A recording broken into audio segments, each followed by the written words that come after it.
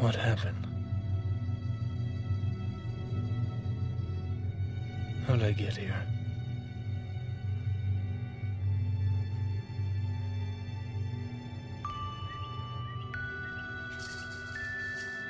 Okay, it's your move now.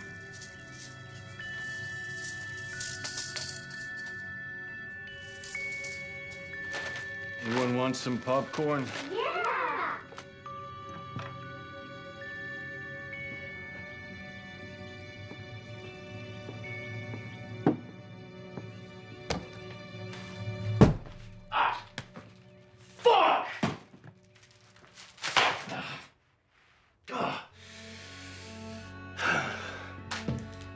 The pain.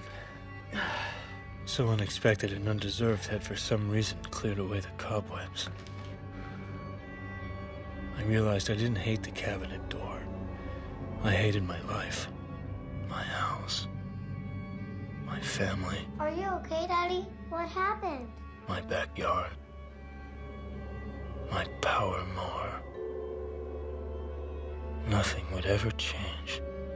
Nothing new could ever be expected.